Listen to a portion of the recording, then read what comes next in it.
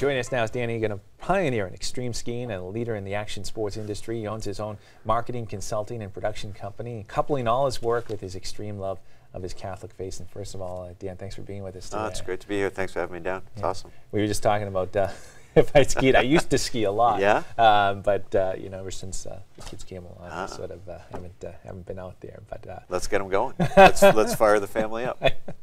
Now, you and your brother, um, uh, two of the original members of the uh, North Face Extreme Ski Team, and uh, maybe if you could talk about your involvement in that and how that got going.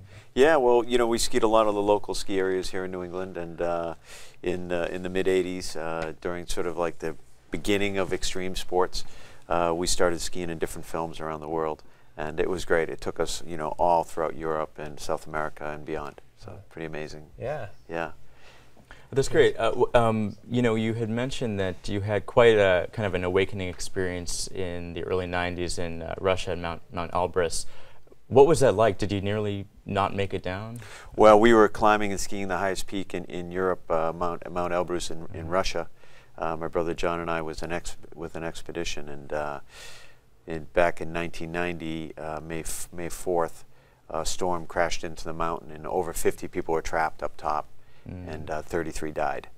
And uh, I was lost for 38 hours and uh, was lucky enough to get it down. So during that storm, it was 100 mile an hour winds. It, it, it uh, snowed five feet, uh, and I was buried in a snow cave for quite a time. And a man saved my life. Uh, it was pretty amazing.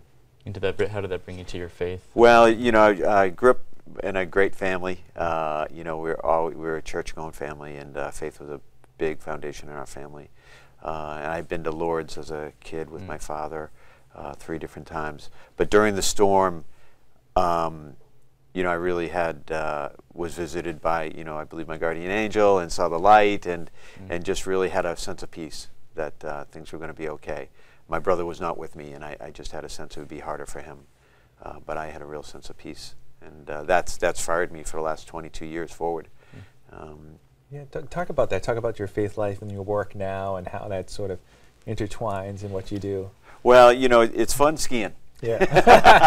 it's a lot of fun skiing, and uh, you know you get to meet so many people. And I've stood on uh, mountain peaks all over the world, and uh, as a guide and a coach with people that say, you know, today's the best day of my life. Yeah. And I always ask them about that, you know, because it is a great day, but the best day, you know, and uh, and dr- drive a little deeper. And also through my work, I I get to ski with a lot of kids and a lot of families, and uh, you know, to mentor them, to coach them, to teach them.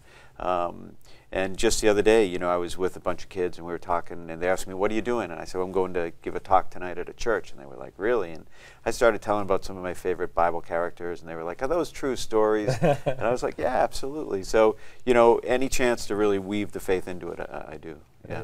Mm. Were you one of these guys that jumped out of the helicopters into the snow? Still am. I You love it. Still am. It's amazing. You know. Uh, It's uh, it's funny when I first started skiing, you'd line up in the um, ski rental line, Yeah. you know, and they would be playing Right. these uh, movies up in the television screen. Well, if it was a lime green one piece suit, that was me. So uh, That's great, that's but great. no, you know I- that's amazing opportunity to be, you know, to see God's creation that way, and to see just a world of white of perfect, perfect snow, and uh, yeah, I've been lucky enough to do that a lot. Wow, yeah, wow. You said you've been, you know, all over the world to a lot of historic places: Berlin Wall, um, Romania after the revolution. Um, what are some of your most favorite moments or memorable moments? Well, we shot in Ephesus, which was awesome uh, for uh, one of my films and for a Warren Miller film, and, and that that was just great to, to be there. Um, and so, you know, really going to we always tied our films into historic locations, um, and, and so Ephesus was definitely a highlight. But I've been to uh, Beirut. Uh, once organized the 1993 Middle East Peace Ski. Um, so I've always sort of been tied into our motto was, you know, where where are the, where, what, where are the world events? That's why we were in Russia in 1990 during Perestroika, uh, skied the wall.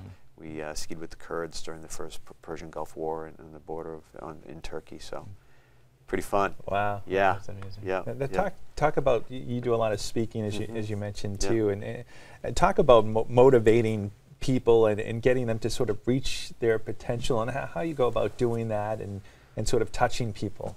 Well, I think you know the, the the very simple formula that I learned as a kid. Uh, you know, greater than, less than, or equal to. And a lot of people, uh, their dreams are greater than their reality. And uh, in my family, we were motivated to raise your reality up equal to your dreams and sort of keep pushing that onwards and upwards. And, you know, I was lucky enough to do that with one of my brothers, but we all did it with each other. We all held each other to high standards and pushed each other. So um, I think that, you know, motivating people in that way, seeing if their reality is equal to their dream, and then talking about, uh, you know, being faithful and uh, what's your foundation uh, and where are you going with it all. So, you know, it's I do corporate, I do faith-based, I do a little bit of everything. Tie in the adventures that we've had on skiing around the world and and tell some stories, but really talk to to the people about you know where where is it, what is it that you want to do, and what are you doing today to make that happen. Mm. Yeah, yeah. But we thank you so much. Hey, thank you guys. Dan. Great. And, uh, if, if people want to find out more about you and your, your organization, Yeah, they uh, can check us out, of course, at uh, deeganmedia.com for all my different productions. Excellent. Thanks for That's being great. with us. Great. Nice to see uh, you.